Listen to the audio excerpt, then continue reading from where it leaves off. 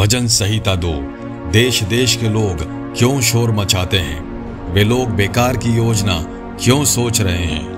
यहोवा के और उसके अभिषिक्त के खिलाफ दुनिया के राजा मिलकर और शासक आपस में योजना बनाकर कहते हैं। वे शासक कहते हैं, आओ, परमेश्वर से और उस राजा से जिसको उसने चुना है, हम सब विद्रोह करें। आओ, उनके बंधनों को हम उतार फेंके। किंतु मेरा स्वामी स्वर्ग का राजा उन लोगों पर हंसता है।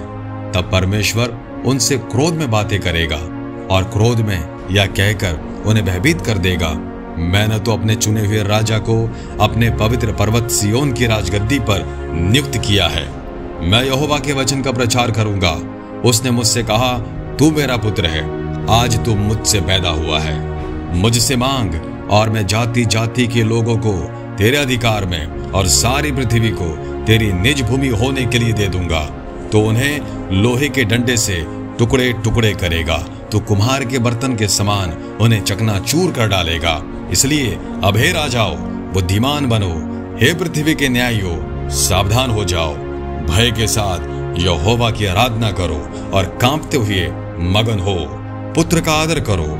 ऐसा ना हो कि वह क्रोध करे और तुम मार्ग ही में नष्ट हो जाओ, क्योंकि क्षण भर में उसका क्रोध भड़कने पर है। क्या ही धन्य है वे सब जो उसकी शरण में आते हैं।